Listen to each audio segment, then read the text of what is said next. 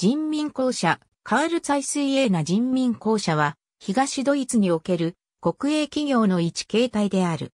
人民公社の連合体は、人民公社連合体である。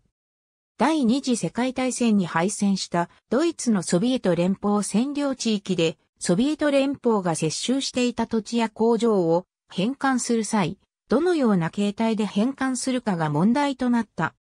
これについて、ザクセン州で人民投票が行われ、1946年6月30日に開票された結果、3分の2以上の多数の賛成で人民公社という形態で返還することとなり、1946年7月1日に以下2つの人民公社連合体が成立した。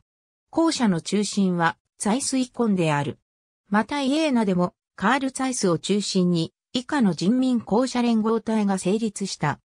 このほか、著名な人民公社には大衆車トラバントを製造していたザクセンリンク人民公社やバルトブルクを製造していたベブアウトモービルベルク、アイゼナハなどがあった。